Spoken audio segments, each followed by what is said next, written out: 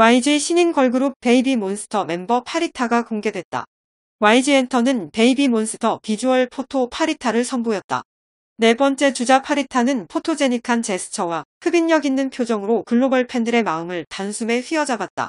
leg guard를 착용해 유니크한 분위기를 자아냈으며 자신감 넘치는 워킹과 독보적 피지컬로 눈길을 끌었다.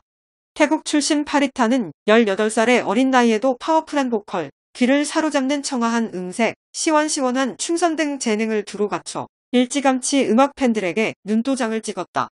베이비 몬스터는 6인조 걸그룹으로 오는 27일 0시 데뷔곡의 음원과 뮤직비디오를 동시 발표한다. 블랙핑크 이후 YG가 7년 만에 발표하는 걸그룹으로 기대를 모으고 있다.